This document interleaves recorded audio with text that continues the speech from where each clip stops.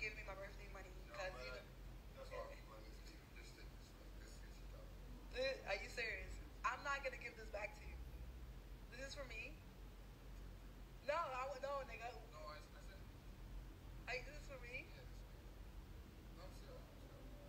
I, I'm not giving this shit back to you when the cameras go off. Yo, my nigga.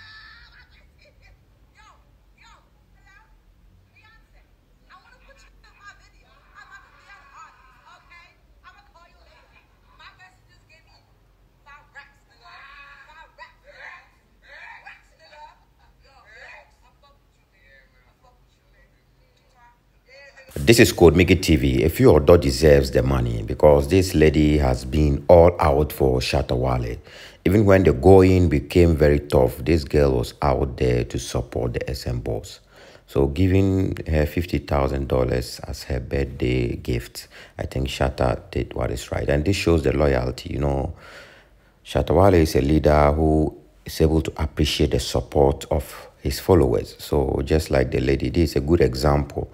So anybody who is supporting his work is supposed to stick to it because the leader is somebody who is able to see and show the right appreciation at the right time. Code Micky TV, your number one sniper on the highway. Thank you.